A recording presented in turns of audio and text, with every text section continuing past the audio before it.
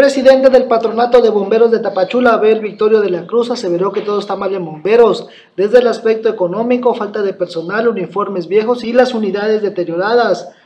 Refirió que existe una unidad que está en el taller y se requiere la cantidad de 42 mil pesos para su reparación para brindar un mejor servicio. Tras haber sido constituidos y tomado protesta de ley ante la presencia de autoridades militares, navales y del gobierno del estado, Victorio de la Cruz enfatizó que los chaquetones y los uniformes que se usan los bomberos ya están viejos y lo único que tienen lo van a seguir usando. Bomberos, eh, si hablamos de, de manera general, bomberos está mal son pocos elementos, las unidades no están en buenas condiciones, sin embargo se mantienen para poder dar los servicios.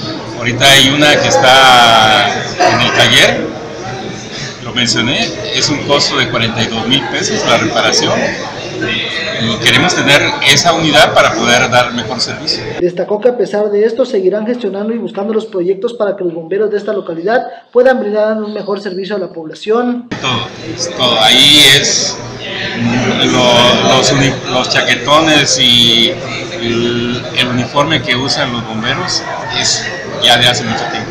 Ya no, ya no es apto para poder atender una pues Es lo único que tienen y lo tienen que seguir usando y entonces hablamos de que poder adquirir una unidad nueva, pero también tenemos que estar pensando en que, hay que comprar nuevos uniformes cuando dan los servicios. Es un riesgo, lo dijo el contador Murillo, es un riesgo que los bomberos vayan a dar un servicio en condiciones muy lamentables.